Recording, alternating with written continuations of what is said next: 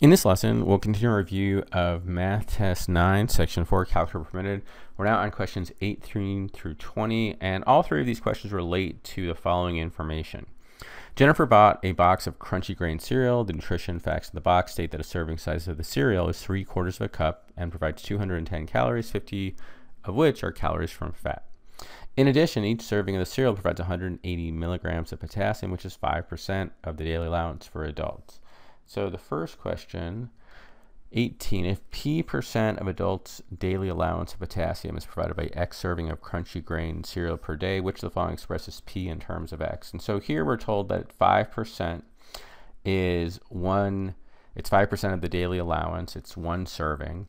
And we want to express whatever that percent would be of the adult's daily allowance based on the number of servings. And you really want to be careful here because 5%, this really reads as 5. It's not 0.05, right? So which one would express the percent as a number, as a percent, based on the number of servings? And so you can see here, the answer is B, right? Whatever, let's say a person had three bowls, that'd be 15%, and that would be 15, that would be the percent, equals 5% times the number of servings, right? So just be careful. Um, just think about you're really substituting the number, the actual percent, not in decimal form. All right, let's take a look at question 19. On Tuesday, Jennifer will mix crunchy grain cereal with super grain cereal for her breakfast. Super grain provides cereal provides 240 calories per cup. If the total number of calories in one cup of Jennifer's mixture is 270, how much super grain cereal is in one cup of the mixture. And so instead of just eating the crunchy grain that we saw here, she's now mixing it with super grain.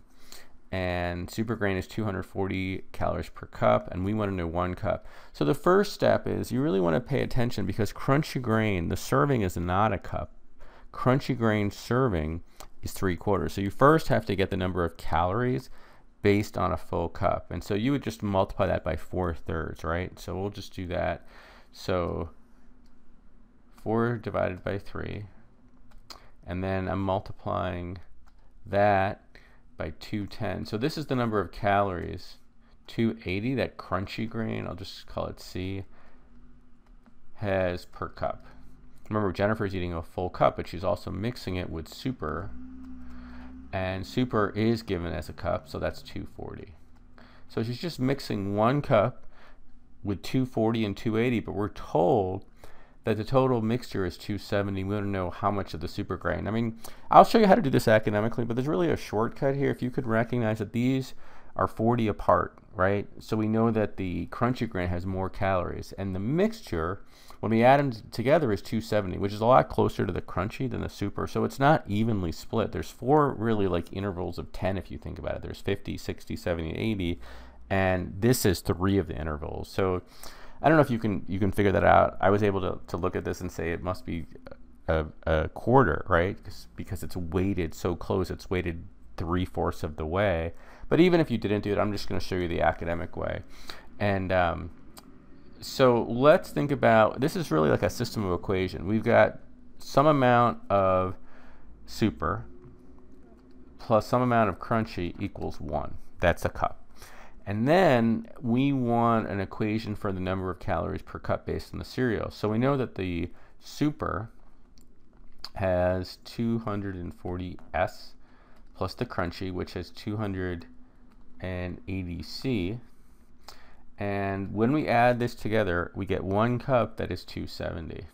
So this is really a system of equations. The question is asking how much of the super, so we're solving we've seen these before. We're really solving in terms of S. So we're going to take this equation up here, and we're going to express C in terms of S to use substitution. So C equals 1 minus S. And so I'm going to take that, and I'm going to plug it in down here. So I have 240S plus 280, and now I'm going to plug this in for the C, 1 minus S equals 270. And so this is going to be 280 minus 280s, and this was 240s, equals 270. So again, just have to be careful with your arithmetic here. And so if I add this, this is going to be negative 40, but I'll bring it to the right side, so it's going to be positive 40s. And then the last step is 270, subtract that from both sides, and I get 10. And so we get s equals 10 over 40, which is 1 fourth. And again, like I said, if you were able to recognize that early on, you could have saved a little bit of time, I think. I'm gonna, there's just one more question on the next page. I'm just to do this in this in this video because it relates to this information. So let's just number 20 as well. Which of the following could be the graph of the number of calories from fat in crunchy grain cereal as a function of the number of three-quarter cups per serving? Okay, so number we're just talking about the total number of calories from fat and crunchy grain as a function of the number of cups. I mean, before you even go back to the information, we know that if you have zero cups, you're going to have zero calories from fat. It'll be zero calories. But as it increases, the number of three-quarter cups, you're definitely going to increase the number of fat. You don't really even have to go back to the information. We know this is an upward sloping line and it's also going to go through the vertex, right? It's going to go through zero, zero because if, if a person does not eat any cups, there's not going to be any fat. And so you don't really have to pay attention to like, you know, the actual line and, and obviously it's not downward and it's not, it's not no change. So for example, if you're not sure like which line this is, you don't have to pay attention to the slope, just pay attention to the starting point. And this one, because it comes to the vertex, that's why it's the answer. So that one wasn't too bad. The answer is A.